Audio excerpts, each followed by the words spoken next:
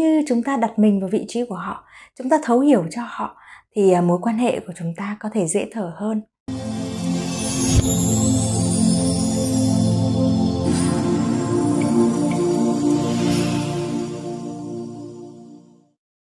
Trong rất nhiều những video trước, tôi An đã từng chia sẻ với bạn về à, chủ đề người thứ ba.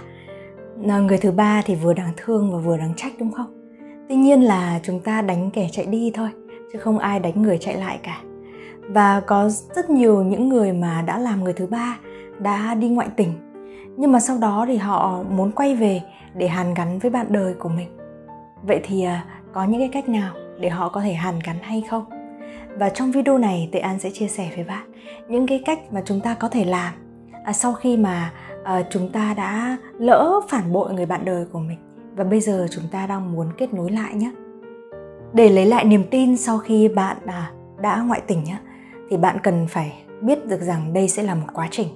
Đây sẽ không bao giờ là ngày một, ngày hai cả. Thế nên, thứ nhất, bạn cần phải rất kiên trì, kiên nhẫn để bạn tưới tẩm trở lại cho cái mối quan hệ đó. Và khi mà tưới tẩm bạn cũng cần phải chuẩn bị cho mình đủ những cái năng lượng tích cực, bình an và yêu thương. Bởi vì rất có thể đối phương của mình vì quá đau, quá tổn thương vì sự phản bội mà mình đã gây ra cho họ họ sẽ sát muối vào lòng mình họ sẽ ném rác vào đầu mình. Nhưng lúc này, chỉ cần một sự phản kháng dù rất nhỏ của mình, đôi khi cũng làm cho mối quan hệ đi đến cái bờ vực tan nát và đổ vỡ nhanh hơn. Nên, đầu tiên chúng ta cần phải hết sức kiên nhẫn, kiên trì và nhẫn nại. Điều thứ hai mà chúng ta cần làm đó là ngừng nói dối. Chúng ta không cần phải nói dối thêm nữa. Chúng ta hãy trung thực với họ. Chúng ta hãy nói sự thật với họ.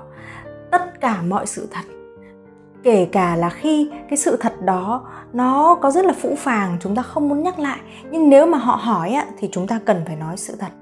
Còn nếu mà họ không hỏi thì à, điều này cũng không quá cần thiết. Nếu mà chúng ta thấy là cái câu chuyện đó nó là một câu chuyện mà mình đã từng nói dối chẳng hạn thì bây giờ mình phải sửa lại thôi. Còn nếu mà nó là những cái à, bí mật mà họ cũng không cần biết đến thì đôi khi chúng ta cũng không cần phải thổ lộ với họ nhưng cái điều này chúng ta cần phải rất tỉnh táo, bản lĩnh và khôn ngoan để có thể à, ngừng nói dối này và biết được rằng mình nên nói gì và cần nói cái gì vào lúc này. Điều thứ ba chúng ta cần làm để lấy lại niềm tin của mình với bạn đời, đó là chúng ta cần phải kết thúc với nhân tình của mình một cách thẳng thắn và rõ ràng.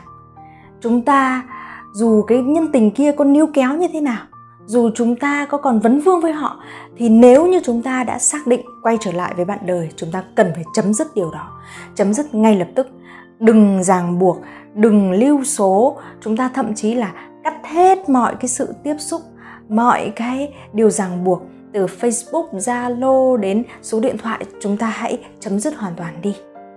Thứ tư đó là chúng ta cần phải đặt mình vào vị trí của đối phương để hiểu và cảm thông cho cảm xúc của họ. Vì ờ, nếu như đối phương đã rất khó chịu, nếu như đối phương đã rất tổn thương thì đôi khi họ sẽ rất nóng nảy và khó chiều. Nhưng nếu như chúng ta đặt mình vào vị trí của họ, chúng ta thấu hiểu cho họ thì ờ, mối quan hệ của chúng ta có thể dễ thở hơn. Bạn ạ, à, thực sự thì thấu hiểu người khác nó cũng là một tên gọi khác của yêu thương đó điều tiếp theo mà chúng ta cần làm đó là chúng ta hãy dành thời gian hiện hữu có mặt với đối phương nhiều hơn với bạn đời của mình nhiều hơn. Bởi vì à, chúng ta cần phải có cái sự xúc chạm nó đủ lớn để chúng ta hàn gắn những cái mối liên hệ tình cảm. Và có thể điều này nó sẽ rất khó khăn ngay trong lúc ban đầu, khi mà chúng ta mới quay đầu trở về chẳng hạn.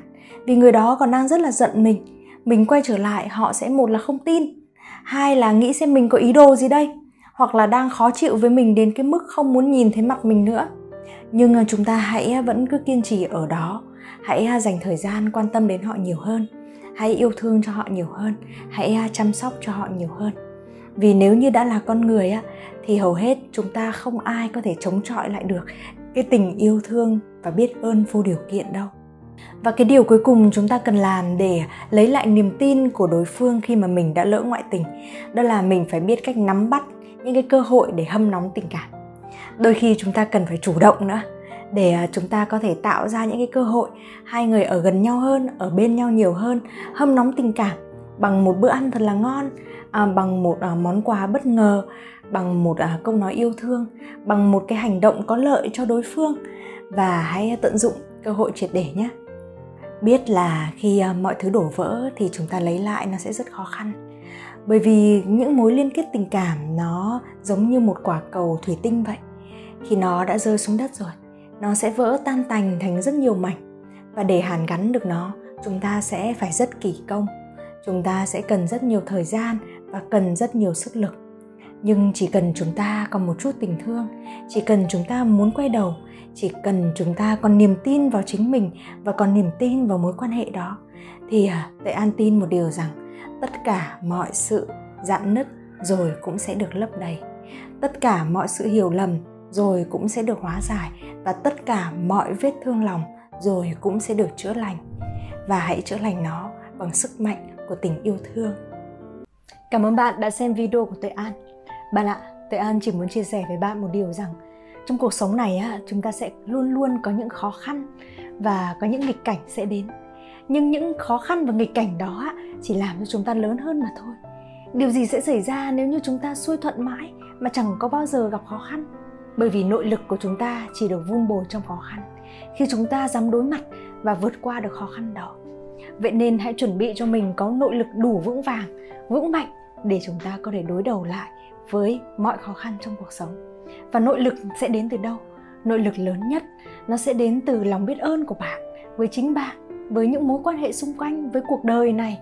Nó sẽ đến từ tình yêu thương của chính bạn, với chính mình và những người khác. Và nội lực vững mạnh cũng sẽ là việc bạn có thể làm chủ được cảm xúc của mình làm chủ được mọi hành động và lời nói của mình mà không bị chạy theo ngoại cảnh nhưng để có được nội lực như vậy chúng ta cần phải có thời gian để rèn luyện với nhau và đó chính là lý do tại sao Tuệ An lại sáng tác ra bộ sách Chinh phục hạnh phúc gồm à, 90 ngày đồng hành liên tục với bạn để bạn có thể thực hành biết ơn, yêu thương vô điều kiện và làm chủ cảm xúc. Hãy cùng Tuệ An rèn luyện trong vòng 90 ngày nhé và chắc chắn bạn sẽ có nội lực cực kỳ vững mạnh để bạn có thể vượt qua được mọi sóng gió trong cuộc đời này. Nếu như bạn muốn đặt bộ sách, hãy à, để lại số điện thoại phía dưới comment hoặc ấn vào đường link ở phần mô tả để à, biết thêm thông tin và có thể đăng ký nhé. Và Tuệ An vô cùng biết ơn bạn và mong muốn được đồng hành cùng bạn trong những video tiếp theo hoặc cùng với bạn rèn luyện mỗi ngày trong bộ sách Chinh phục hạnh phúc.